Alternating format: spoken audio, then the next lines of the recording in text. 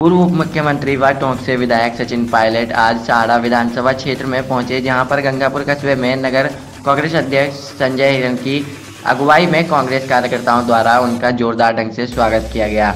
इसके बाद पायलट सहाड़ा विधायक कैलाश त्रिवेदी के निधन पर रायपुर कस्बे में उनके निवास पर आयोजित शोक सभा में शामिल होने पहुँचे और वह दिग्गंत विधायक त्रिवेदी के चित्र पर पुष्पांजलि अर्पित की। इसके बाद पायलट ने शोक संपन्न परिजनों को ढांढस बधाया। इसके बाद पायलट राजसमंद ज़िले के लिए रवाना हो गए। पायलट के दौरे के दौरान साड़ा विधानसभा क्षेत्र के वरिष्ठ कांग्रेस नेताओं की गैर मौजूदगी चर्चा का विषय बनी रही।